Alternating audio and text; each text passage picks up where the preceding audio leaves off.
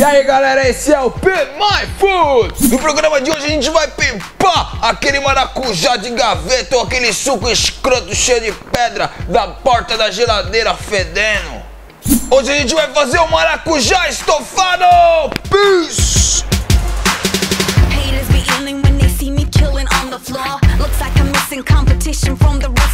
Primeiro passo, mano, é só bater um sorvete de creme delícia com suco de maracujá e leite condensado.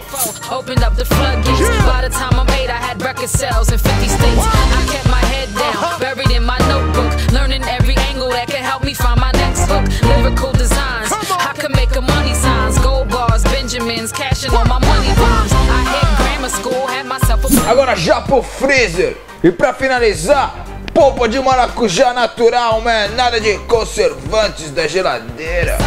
Friends double down, cause I rose up from